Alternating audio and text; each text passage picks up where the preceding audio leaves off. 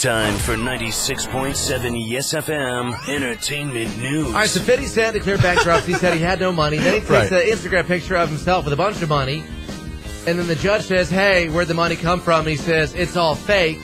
And now he's got the Secret Service asking, hey, about all that money, we want to find out more about this. We're going to investigate you. All because he gets on his stupid phone Yeah.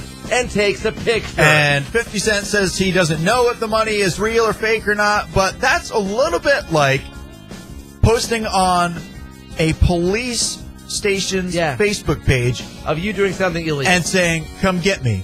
yes. That's exactly what it's like. Does he? Does 50 Cent think that he's immune to this Yeah. because they've arrested celebrities for way less? All right, Nick Jonas is going on tour. I believe he's coming uh, with somebody else to, to Ottawa here this summer.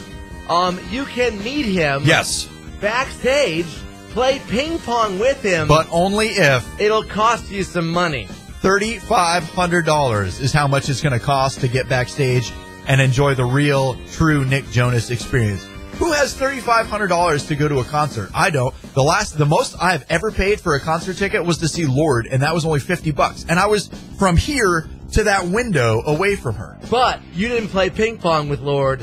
You can play ping pong with Nick Jonas backstage, probably within about five minutes. Boom, boom. Okay, next. Boom, boom, next. That's true. I did, I did meet some other hipsters like me, and I did dance with some dudes. $3,500 to play ping pong with Nick Jonas. You know what? Backstage. You know what? $3,500 gets you that. $5, you'd see my band, and we get sweaty.